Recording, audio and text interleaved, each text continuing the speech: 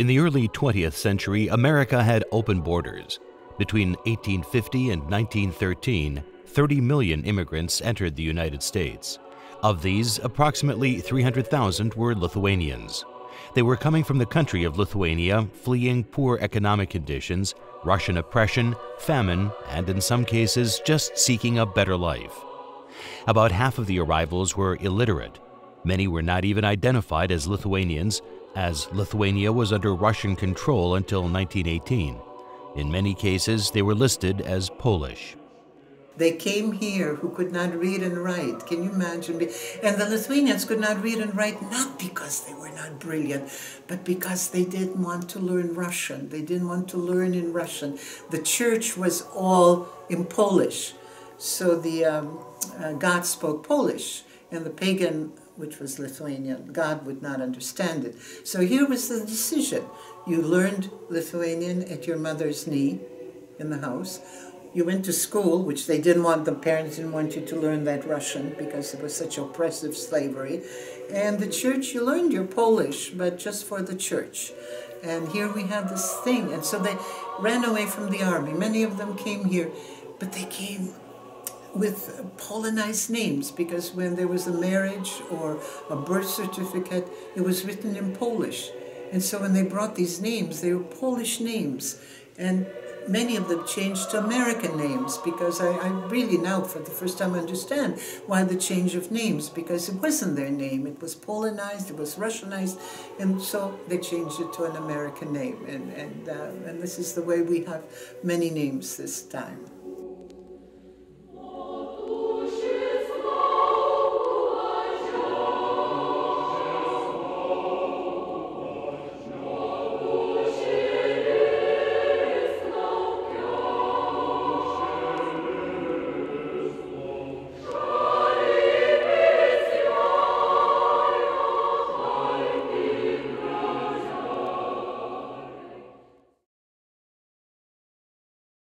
Many of the first Lithuanians settled in Pennsylvania and went to work in the mines. They settled in Pennsylvania towns such as Frackville, Mahanoy City, New Philadelphia, and Shenandoah. By the late 1890s, Lithuanians represented 25% of Shenandoah's population. The area became the hub of Lithuanian first wave immigrant activity. To this day, that area's population includes many with Lithuanian ancestry the descendants continue to identify with their Lithuanian roots.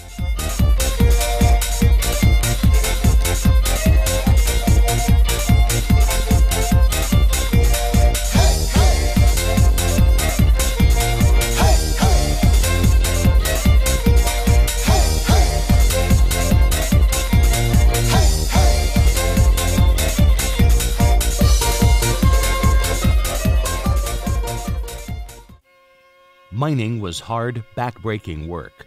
Lithuanian miners had a strong work ethic and recognized when conditions were unfair. Lithuanian workers played an important role in the growth of the United Mine Workers Union as well as the Amalgamated Garment Workers Union. The first Lithuanians arrived in Rochester in 1890. By 1905, there were over 400 Lithuanians in Rochester, mostly single men coming from the mines of Pennsylvania looking for better jobs. We're here today in Jamestown, Rhode Island with Birutė Butrimas. Her ancestors were actually uh, one of the founders of the Rochester Lithuanian community. Um, so, Birutė, um, do you know anything about your ancestors? I actually did not know any of that until you told me, and I dug out that one book and I read, and I went, oh my goodness, oh my goodness, I never knew that. So, okay, well, I didn't. I'm going to just tell you a little bit about mm -hmm. who they were, and I'm mm -hmm. sorry, but I do have to read this. Um, Birutės relative uh, Adomas Butrimas um, was recognized as one of the original founders of the Rochester Lithuanian community.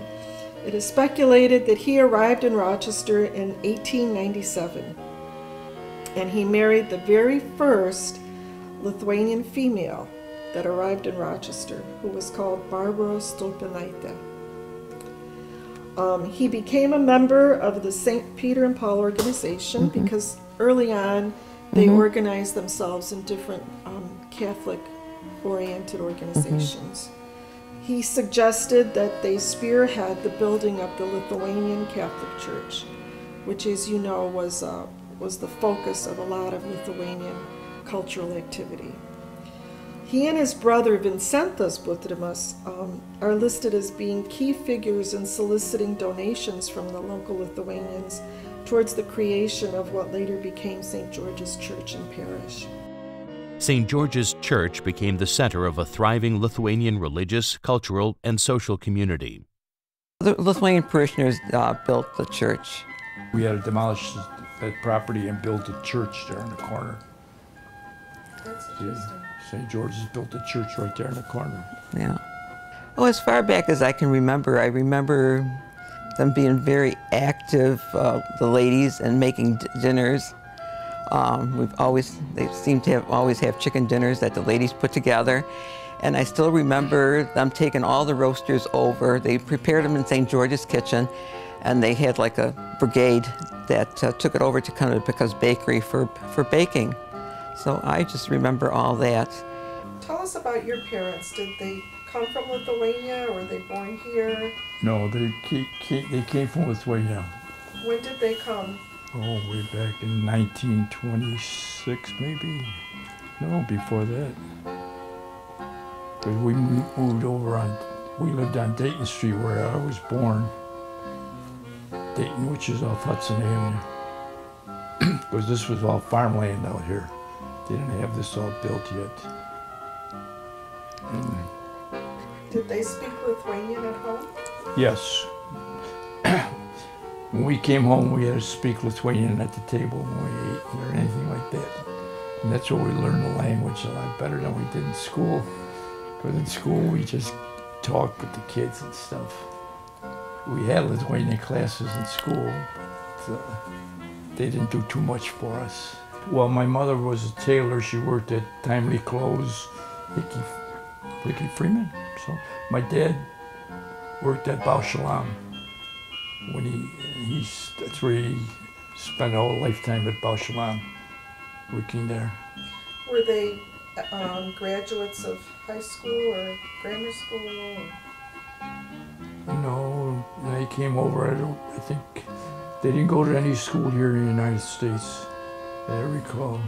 They just worked, worked. We used to live on Hudson Avenue over, uh, we owned a, my dad owned a block on Hudson Avenue near Warsaw, Watkin Terrace. Yeah, on Hudson, not too far from the church. And uh, my mother was a tailor. She worked at a tailor shop. My dad at Bausch & Lomb. We were just kids, my sister and I. My mother was born in 1910 in Shenandoah, Pennsylvania. Uh, a year later, they came to Rochester. I don't know why. My uh, mother did go to Holy Redeemer School, though, and she pull, was pulled out of school when she was 11 to go back to Lithuania, where my grandfather had a farm. Uh, my grandmother and grandfather were both farmers, and um, and my dad came over to Rochester in 1919 and he worked at Rochester Piano Works, East Rochester Piano Works, and then for the rest of his life he was uh, uh, worked in a foundry at American Laundry Machine Company. My mother was a stay-at-home mom till we, my brother and I, got into high school, and she went to work for Xerox, and she retired from Xerox. Did they speak Lithuanian? Uh, I went to St. George's School not knowing any English. It was only Lithuanian spoken at home. So when I went to St. George's School, the school was downstairs and the church was upstairs in the hall. Right. My um, grandparents, I think first my grandfather, Jonas Jokšas, came. Um, Ponas uh, Valerius Vitkas sponsored him and I guess stayed with him um, until he got established. Um, my grandmother came, um, Ursula Butkaita, and they were married here in Rochester. And um, I guess they were the first um, couple to be married in the old, the first church, the old, what we had as the parish hall when I knew it. so that was November 8th, 1910. They were, they were married there. And um, they, I think they owned the, the, the house, the property behind where the new church is. They owned that house, and when it was time to build the new church, they um, gave, or I don't know if they gave or they sold the property to, you know, um, for St. George's Church. My grandfather fled um, Lithuania so he wouldn't have to go into the Red Army. Um, my grandmother, um, I think, I think the families knew each other. Um, she came, I think her family wanted just a better life for her. I remember my mom, my mom saying that her mom, um, you know, would talk about how they they hid their books underneath the floorboards, and um, they they had to talk Russian in public. Um, so those were a couple things that she yeah she was there, and um, she my mother remembered a Russian lullaby that her her mother said she knew and you know would sing to her sometimes. Of course, she would you know in Lithuanian as well, but you know they were you know, um, they were scared to to talk in Lithuanian and and to read or you know do anything like that. Well, my grandfather Jonas was very active in the St. Peter and Paul Society, and my mother said something about he was the treasurer at some point in the building of the new um, church. So I'm not sure if it was the exact time or before or what. Um, that is something I never really um, researched at the parish, you know, in the records. And my grandmother was involved in the, the choir. They used to do dinners and all that kind of stuff. I know she used to cook. My grandfather was, was a businessman. He um, he was a tailor. He became a tailor, and he um, built the building that's across from the new church. And on one side, he had his tailor shop, and my grandmother was a seamstress with him. And on the other side was the um, his ice cream parlor, and they lived upstairs.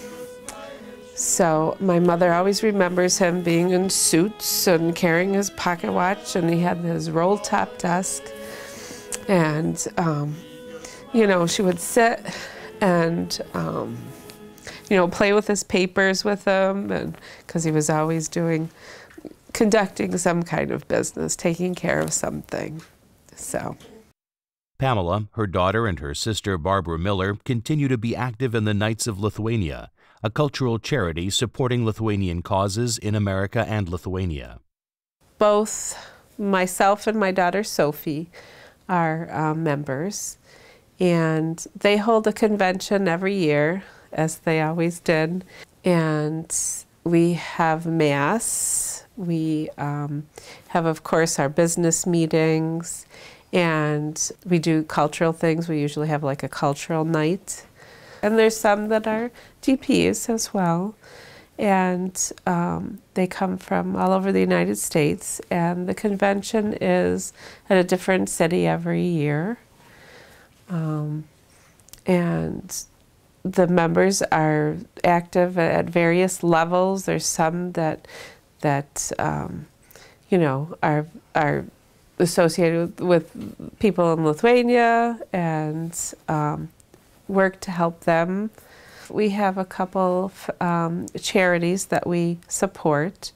One is Our Lady of Šiluva Foundation, and that is to help support, you know, an awareness of Our Lady of Šiluva Um, we have events at the National Basilica in Washington, D.C. Um, we have the St. Casimir's Guild, which um, helps fund the Lithuanian Seminary in Rome. Um, many people are very generous.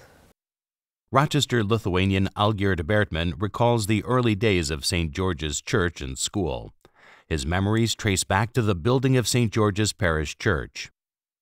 I was only three years old at the time, and I was surprised uh, that I could remember that uh, being built because the cornerstone says 1934.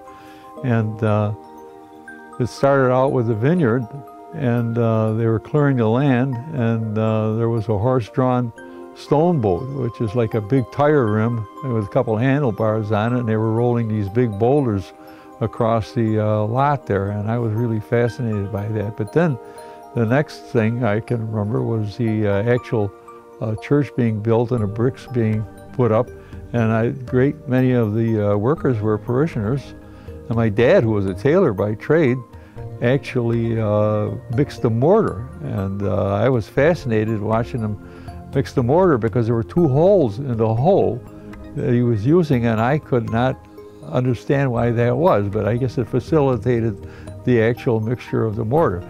But however, they uh, stacked these bricks up on the, uh, a box and then it had a pole on the end and they tilted it up. I don't remember the formal name for that device, but uh, the other thing that I do remember was that Mr. Benner fell off a scaffolding and hurt his back, but uh, he came back from it and uh, recovered nicely, I believe.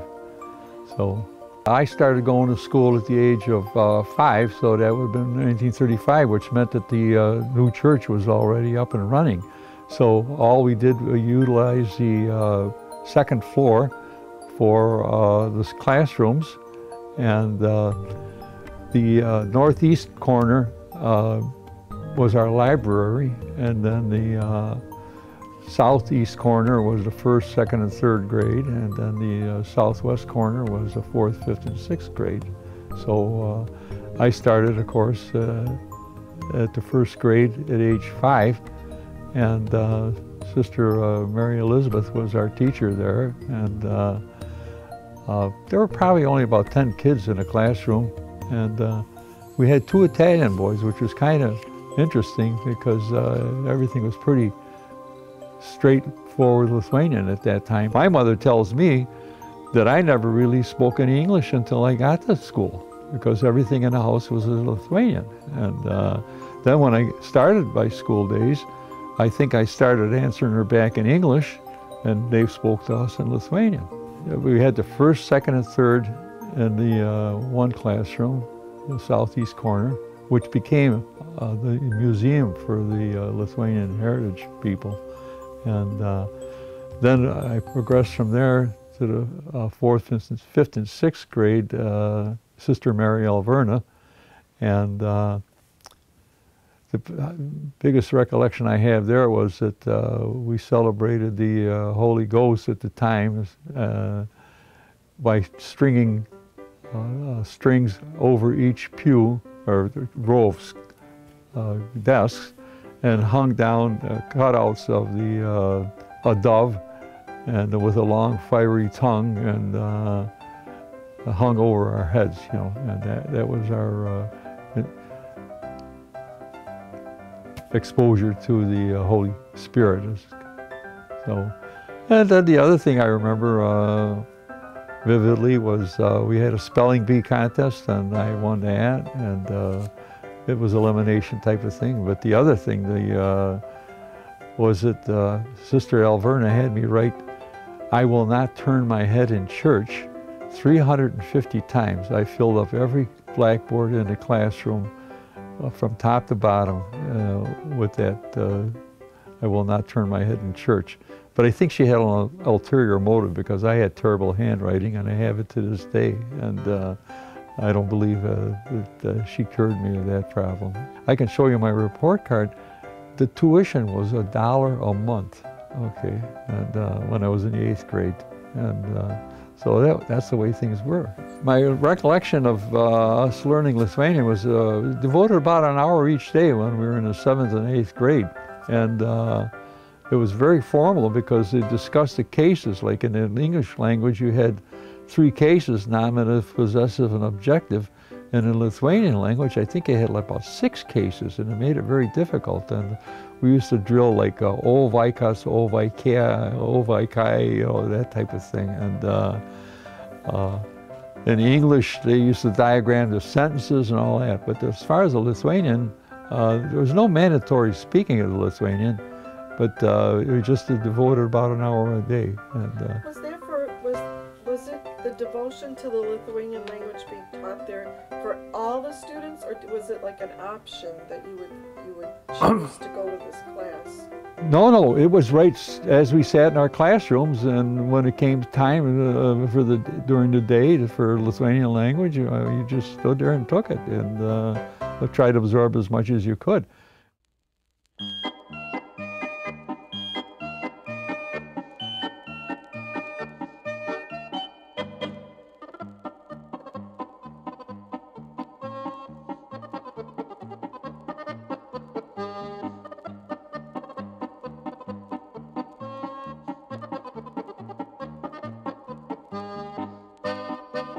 I remember Matsunas' Grill that was on the corner of Watkin Terrace and Hudson Avenue. Shiralis had an oil and coal company first, closer to Clifford Avenue. Uh, the business was in front. He lived in back. Kind of like his bakery. Kanapika's Bakery. Then I remember Milavich and Gursky Meat Market that we used to go every day to get our meats on Hudson and Bernard Street. There's all Lithuanian neighborhood on top of Hudson Avenue. As you go down towards Norton Street, it was all Polish. And down there, C stands. Uh, and very active was was Deerso's. A lot of people stopped by Deerso's bar, uh, which would later became Wisman's when Mr. Deerso retired. Starting on the uh, left side of uh, Hudson Avenue, on the west side, uh, north of the church, we had Brockness Studio. And uh, crossing Clifford Avenue, we had uh, Meat Market. And a little further down, we had Morgan Funeral Home on the corner of Alphonse Street. And then another block, we had uh, Joe Dirso's uh, restaurant and grill. And uh, further down by Berlin Street, we had uh, Henry Milavich's butcher shop. And let's see, on the east side, uh, across the street from the church, we had uh, Shiralis Coal and Coke. And then on the corner of Watkin Terrace, we had uh, Motsiunas Grill and Restaurant. And uh, further down near the firehouse, the uh, Engine 16, there was a barber shop there. Uh, Shukis uh, was a barber. And uh, just back, coming back a little bit, there was a Hudson Theater, and the uh, family lived just north of uh, the Hudson Theater. And across the street, there was another barber shop there, and the Luxus family lived in behind them, but I can't remember the bar barber's names, but there were two of them. And uh, so there were a lot of uh, Lithuanian uh, businesses right along Hudson Avenue there, and uh, they seemed to end right around Avenue D because north of Avenue D was like became Polish town, and uh, but there were a lot of Lithuanians living down there. The Belasiuses lived on Warsaw Street, and uh, uh, Bill Kavichus lived on, uh, I believe, Fairbank Street. So, uh, okay, back to Kanapitka's Bakery. I forgot about them. Sure, they were a keystone item there, and uh, uh, I believe Mrs. Kanapitkas was Polish, and uh, Mr. Kanapitkas was Lithuanian, and uh, but their bakery was used to cook all the foods, and whenever we had banquets in the upper hall, uh, which held about 300 people, uh, the uh, food was cooked in roasters, and then there would just be a whole bunch of people come over, grab the roasters, and bring them to the upstairs church hall where the food was uh, broken down and uh, distributed to the tables. And uh, that was quite a affair, all these banquets, because uh, all the young people knew the routine. The tables were all underneath the stage, and you opened up the doors and pulled the tables out and set the tables up, and the chairs were there under in racks, and we also set them up. And uh, the younger boys, like myself, would uh, run the cloakroom down in the classrooms, and we used the desks to store our uh, customers' clothes during the winter months. And uh, everybody pitched in and worked hard. And uh, the bazaars, uh, they had them around Thanksgiving, and uh, the big things were the uh, spinning of the wheels for uh, winning wine. And I remember Felix Schlepatis, he was one of the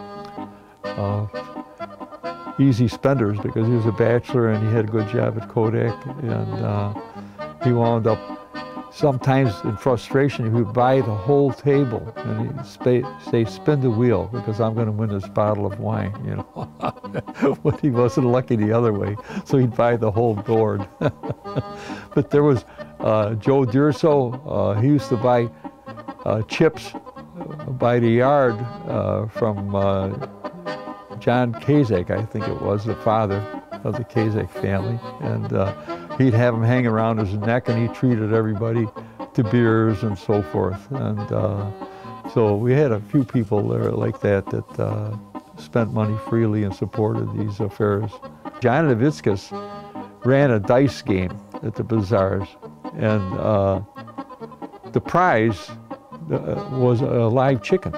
Okay, so the uh, custodian at the time was uh, Carajos, uh, king, and uh, he would go out and get the chicken out of the back uh, shed there that was attached to St. George's and bring it in, and here the winner would be going around the rest of the evening with a uh, chicken tucked underneath his arm. And uh, what I did, uh, the game consisted of throwing three dice three times, and I would quickly add up the dice into write the person's name down, and then whoever beat him, I would write that name down. So at the end of the page, the highest score won the chicken. You know, I forgot about businesses. Okay, there was uh, North Dairy on North Street, and it was uh, Ignas Kairis, and uh, I can't remember the father's name. The Unitas though, and uh, so there was Ed and Frank and Vic uh, were the boys there, and uh, Vic became a deacon, and uh, Ed, he was uh, high up in the uh, union and uh, General Motors Rochester Products plant. And Frank, I'm not sure what he did, you know, but he was helpful to me when we had part of the fundraising, okay, for the church we would uh, have paper drives like during World War II, and uh, we collected scrap. Well, he used the uh, dairy truck that delivered milk normally to collect all this stuff, and uh, people would let us know that they had paper to donate, and we would go pick it up. And uh, but we sold the paper for a dollar a hundred pounds, which is big money when you think about that, and uh, we raised $100 and that was used to buy the knotty pine wood that was uh, used to build the basement uh, hall. Today it's now been painted, and, uh, but it was originally knotty pine. And as a teenager, I got the job of sanding it. The older guys put the boards up, and I wound up sanding it, and then they finished off the uh, knotty pine. But anyhow, that was funded all by the money we raised from the paper drive. and uh, so about $100. North Dairy uh, delivered the uh, milk right to your door, and we had a little uh, carton uh, there. It was kind of had insulation on it, had metal covering and a lid, and usually about two quarts at, at a time, and they delivered the milk and picked up the uh, bottles that we had washed. And I remember we, we did have refrigeration in those days. Uh, we had uh, ice boxes, and you hung a sign in the window. It was a triangular sign, and uh, according to the amount of ice that you wanted, it was color coded. The way you hung it in the window would tell the iceman how much to chop off of his block of ice and bring with his tongs into your uh, ice box.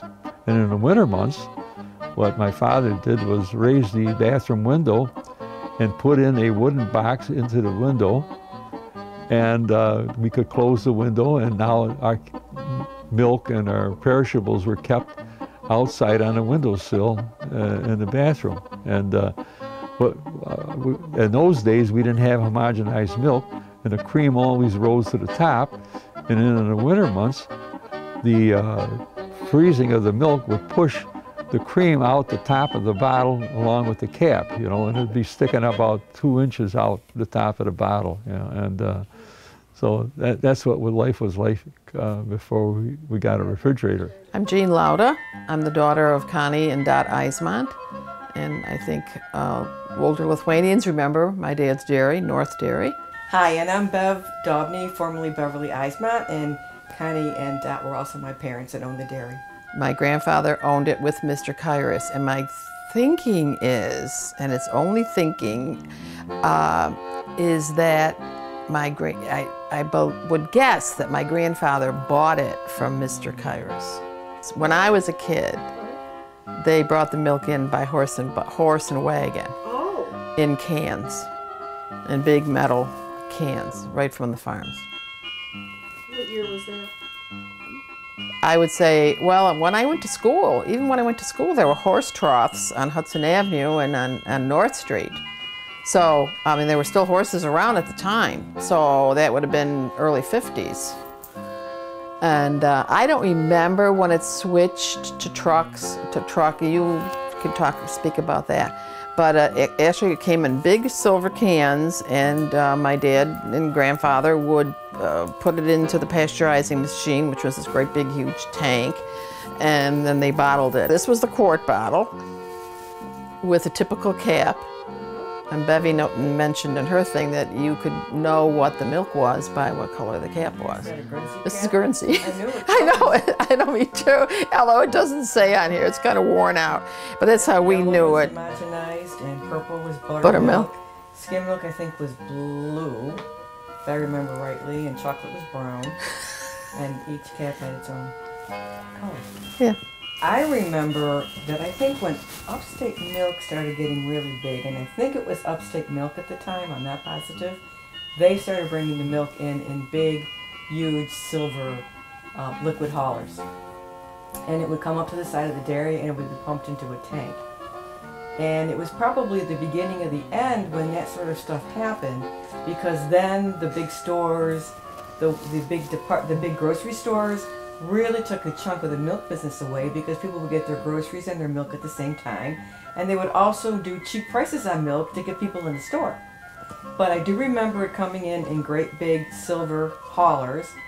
And I can remember the process started at the far end of the building where there was this huge machine that had all these little metal holders. And they would put the bottles into these holders and they would rotate through and they would sterilize the bottles. And once that was done, it would ride along a conveyor belt around this big. And the conveyor belt would go down. And then at the end of the line, I just remember this huge metal sheet that came out of the ceiling Yep. that had, I want to say water or something coming down it, but eventually the milk came down, whatever it came down into. And then these bottles went around a round cylinder thing that the milk would be in. And they would go around the cylinder and they would get filled with the milk and then at the very end it would get capped with the cardboard caps.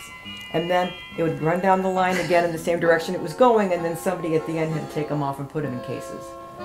Our poor dad had no life. Um, he would really get up at two o'clock in the morning every morning and he would go and get the milk and put it in the trucks. In the summertime i do remember there was ice and he would be delivering at two o'clock in the morning and come back sometimes i'm going to guess maybe five or six o'clock and he would bottle and then he would go back out again and he would start delivering to the bars and the schools that were open i just remember the real thrill being the kid at school and i can remember milk bottles the little half pints used to be along the chalkboard wall and you could either order milk, either white milk or chocolate milk. You had to order what you wanted at the beginning of the week, and the little bottles would be stacked up. And during break, you would have that milk. But I was always so proud